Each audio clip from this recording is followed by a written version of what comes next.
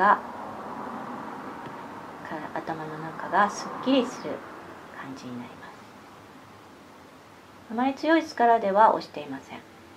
ただ指を乗せているだけという感じです。ここは赤ちゃんの時には巻いている部分です。ゆっくり力を抜きま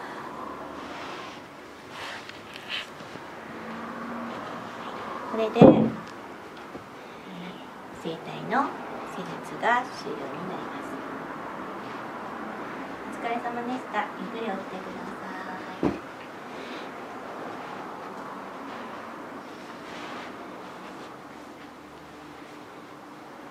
はい、えー、この施術は、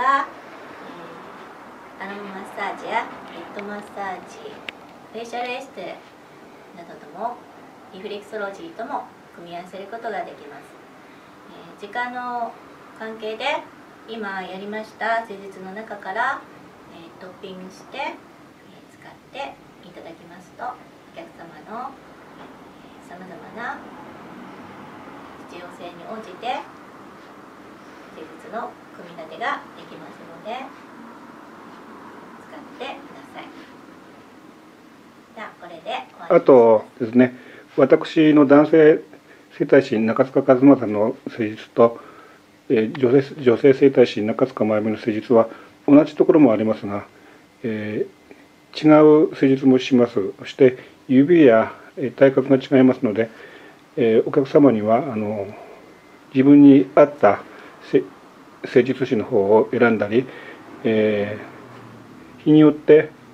男性整体師の方にやってもらったりあの女性整体師にやってもらったりあの使い分けたりいろいろ利用していますそしてあと先ほど言いましたように他のリフレクソロジーアロママッサージヘッドスパフェシャルなどとも組み合わせたりして、えー利用している方もいらっしゃいます。はい、これで終わりにします。ありがとうございました。